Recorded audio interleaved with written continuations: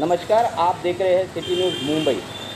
सात ग्यारह bomb blast आरो बम ब्लास्ट के आरोपी मुजम्मिल शेख को आज मु, मुंबई हाई कोर्ट के आदेश के बाद उसके पिता के अंतिम संस्कार में हिस्सा लेने की अनुमति दी गई थी।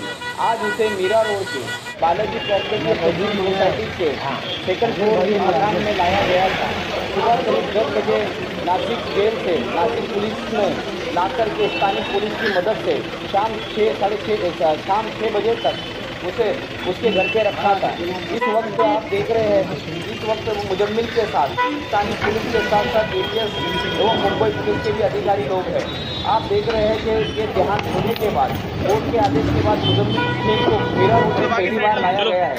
उसे आज करीब रात बारह बजे से पहले नागपुर जेल में जाना अनिवार्य है। देहांत होने के देहांत होने के कारण मुंबई हाई कोर्ट से उसे पिता के अंतिम दर्शन लेने की अनुमति दी गई थी। आप देख रहे हैं किस तरह से कड़ी सुरक्षा में उसे ले जाया जा रहा है। के अपराधी मुजम्मिल शेख के पिता के देहांत के बाद उसे हाई कोर्ट के आदेश पर लाया गया था।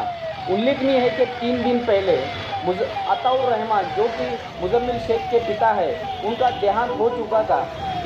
देहांत होने के बाद, मुंबई हाई कोर्ट के आदेश के बाद उसे मीरा रोड के नया नगर इलाके में पहली बार लाया गया है, जिसे देखने के लिए काफ़ी भीड़ इकट्ठा हो चुकी थी। आप देख रहे थे आरिफ पीसी और मेरे साथ सिटी न्यूज़ मुंबई।